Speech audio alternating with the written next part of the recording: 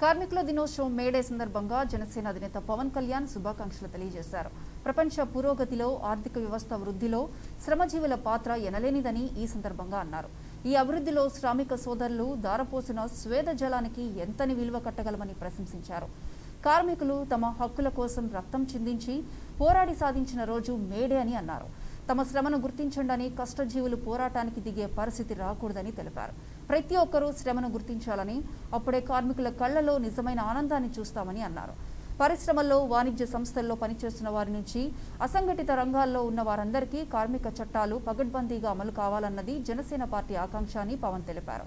Corona second wave సమయంలో కార్మికులకు ఎన్నో ఇబ్బందులు ఎదురవుతున్నాయని ఆ కష్టజీవుల కుటుంబాలను తక్షణం ఆదుకోవాల్సిన బాధ్యత పాలకులపై ఉందని చెప్పారు.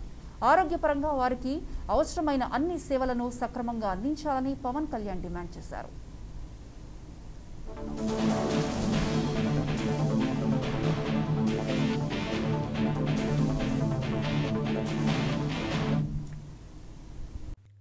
For more updates, please subscribe 99TV Telugu.